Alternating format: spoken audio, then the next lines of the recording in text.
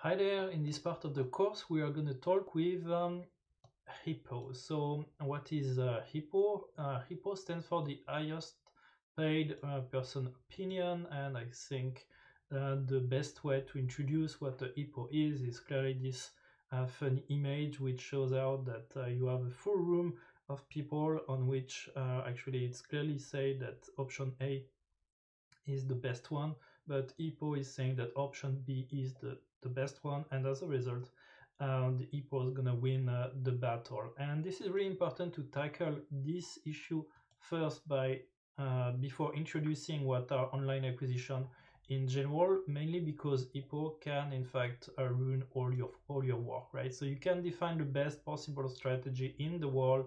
It can be convincing enough for a lot of people but if a HIPPO is in front of you and saying okay I'm the one who have the money. I'm the stakeholder. I'm the one who is um, screaming the most within the audience, or I'm the one who is the most influential within uh, the organization. And uh, as a result, in fact, all your work uh, will be destroyed, or you will only have the possibility to use like 20% of what you expected to do. And as a result, it's going to be the biggest key challenge, not going to be uh, your skills in terms of being able to do digital marketing, but uh, more about the conflict that you will still have with this uh, given person. So in this video, I'm going to be brief. I'm going to explain uh, from my own experience how I solve different situations with uh, HIPPOs. And you will see that it's all about being human and it's all about being a psychologist rather than being a digital marketer. So just to let you know that if you go for digital marketing, you have to know a little bit about psychology or you have to know a little bit about how to deal with humans in general. If not, uh, you will not be able uh, to go very far. So um, I will say the first thing that you have to know about uh, HIPPOs is uh, when you are dealing with them, it's really important for you to turn your tongue seven times in your mouth before speaking okay? Uh, that's something that i have a lot of uh, problem to, to do but uh, you have to force yourself uh, to listen the person who is in front of you. Why is that? Uh, mainly because in some cases uh, the HIPPOs will not accept the fact that you are taking the speech because she or he is the one who is able to who is used to speak a lot so you have to uh, give them the speech, you have to leave them uh, the possibility to, to speak. And you will see that most of the time when uh, you let them this possibility, they will at some point uh, go back to your solution that uh, you were suggesting some minutes ago. Okay, whereas actually uh, one hour ago they were totally against you.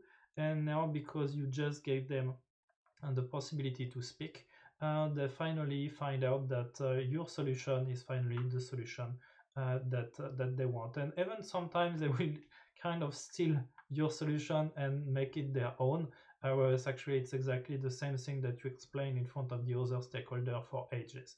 Okay so just to let you know that uh, you need to be able to listen and uh, some people you cannot convince them straight away the solution has to come uh, from them. So this why they need to say it um, one other way that uh, you can suggest in order to make your uh, digital marketing strategy pass is that uh, you can play the card of data. Okay, um, playing the card of data uh, is useful if you have trustful data. Okay, so if you have trustful data, if you can clearly show by A plus B that your strategy is by far the best and that's the way to go. If you have reliable data, which are somehow um, confirmed by a third-party player, it can be a colleague or anyone that the HIPPO uh, will trust, then it will help within the process. But if you just go there just by uh, gut feeling, it will be your gut feeling, again, the one of uh, the HIPPOs, and for sure the HIPPO is gonna win it.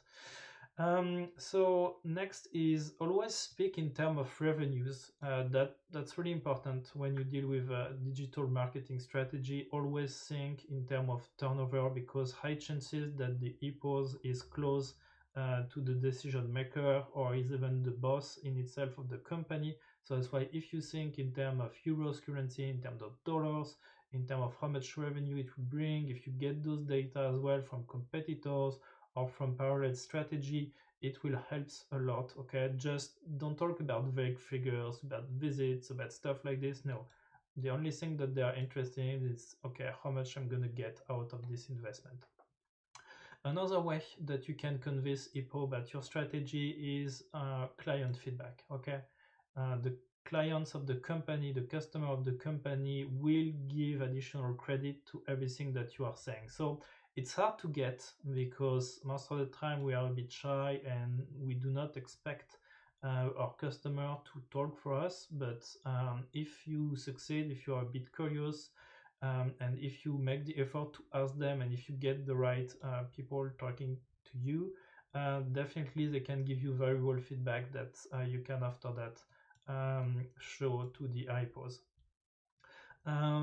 Next point is about testing tool. It's kind of hard to do this one, but can be very um, useful. Is if uh, the HIPPOs and yourself are trying uh, to, let's say, force uh, a digital marketing strategy, you can always kind of find of, a, let's say, um, a mid situation in which you say, okay, uh, we are going to test the strategy that you suggest, and I'm going to suggest mine. And for this, we're going to use testing tools like this it's not gonna uh, change that much about the website okay? The decision we are gonna take here is just gonna impact 50% of the website and if after a certain period of amount of time like one week or two weeks or one month it doesn't give the expected result then HIPPO, you will be right and your strategy will be better. And I and I was wrong okay uh, the main issue that I see with testing tools is that it requires um, you to implement some technologies on the website. Either you have the techie skills to develop those testing tools or you don't have them. So that's uh, that's another uh, thing. Um, then another piece of advice, if you are in front of, uh, let's say, strong Hippo, okay, and there's nothing that you can do, and it has been like the 10th time that the HIPPO is refusing your digital marketing strategy, well, probably you are at the wrong place, okay? And you didn't sign up for a psychologist uh, position within your company. So it's probably high time for you to think about other perspective, other organization where you will be uh, valued to uh, your right um, uh, to your right skills. And to conclude, um, this um, this book is a bit offensive, but you may have heard about it. Uh, it's very popular. It's a very ancient uh, book. It's about a Chinese uh, general of war. Uh, the book is named The Art of War, uh, who is explaining, in fact, different strategy that you can apply to day-to-day life in order to defeat an opponent, which uh, could be interesting if you are in front of an Hippo and you are not succeeding. Is actually um, getting rid of him or, or, her by any traditional ways. Actually, The Art of War is um, a good book to read in order to get inspiration from and to identify on which, um, let's say, on which um, side of the cube you need to attack your, your opponent. Uh, this uh, video was helpful for you about how you can deal with HIPPO when it's about defining and implementing a digital marketing strategy.